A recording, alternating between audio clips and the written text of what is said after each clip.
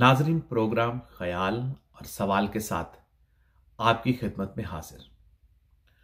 America की रियासत Arizona में एक बहुत ही काबिल और पढ़ी लिखी खातून रहती हैं।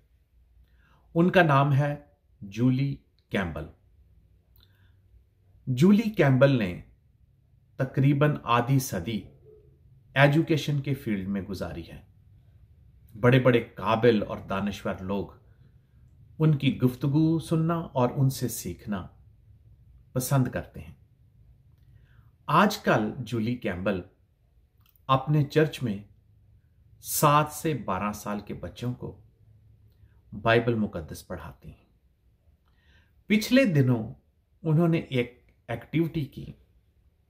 उन्होंने छोटे बच्चों को एक दिन अपने पास बुलाया और वहाँ से वो एक बेवा औरत के घर में उन्हें लेकर गई।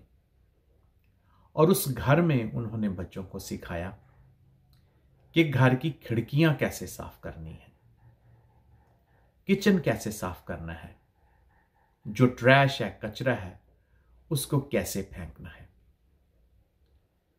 जूली कहती हैं कि बच्चों को दुनिया के लिए भी तैयार करें। उनको सिर्फ़ किताबें ही ना पढ़ाएँ, या सिर्फ़ ज़ुबानी कलामी अच्छी बातें ना बताएँ, बल्कि उन्हें प्रैक्टिकली सिखाएँ कि कैसे ज़िंदगी गुजारनी है। दोस्तों, कभी आपने ये फिक्रा सुना है? अक्सर माँ बाप या बड़े ये फिक्रा बोलते हैं कि कोई बात नहीं, बड़े होकर सब कुछ सीख लेंगे।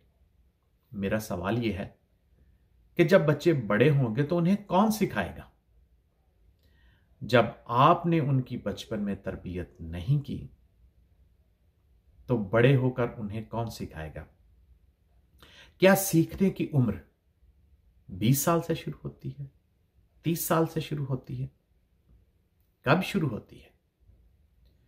दोस्तों, एक और क्वेश्चन है बच्चों की तरबियत के हवाले से। आराम से खेलो, शोर ना करो, वरना मैं पढ़ने बिठा दूँगी या बिठा दूँगा। आपको पता है इस फिक्रे का मतलब क्या है? आप पढ़ाई को सजा के तौर पर इंट्रोड्यूस करवा रहे हैं कि अगर अच्छे तरीके से बच्चों ने ना खेला तो उसकी सजा यह मिलेगी कि उन्हें पढ़ने बिठा दिया जाएगा। दोस्तों, इस तरह की और बहुत सारी बातें और सवालात मैं आपके सामने रखना चाहता हूँ। लेकिन अगले प्रोग्राम में। इसलिए, अगर आपके जहन में इस हवाले से कुछ सवाल है तो प्लीज़ कमेंट कीजिए। आप मेरे साथ फेसबुक पे भी रबता कर सकते हैं। आसिम खन्ना मेरे अकाउंट का नाम है। दोस्तों, कुछ लोगों ने पिछले प्रोग्राम में बहुत खूबसूरत कमेंट्स किए थे, लेकिन मैं दो हफ़्ते आपकी खिदमत में हाजिर नहीं हो सका, मेरी तबीयत ख़राब थी।